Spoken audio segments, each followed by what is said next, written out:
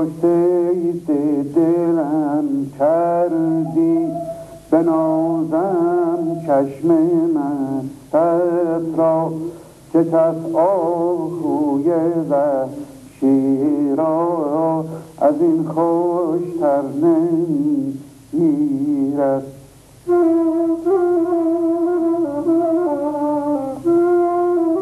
از بقیه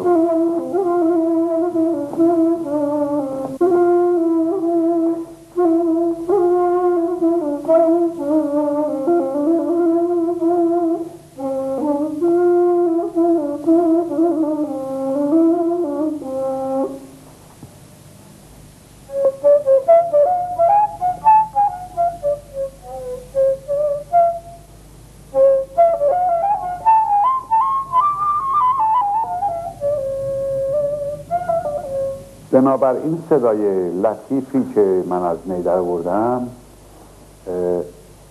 الان براتون زدم یه اشانتیون یه نمونه کوچیکشا دیگه بعد خب شاگردا و هنرجوها و هنرآموزا رفتن دنبالش و الان الحمدلله استادای خوبی روی این ساز هستند و دارن کار می‌کنن که باعث سرفرازی و افتخار من هم هست.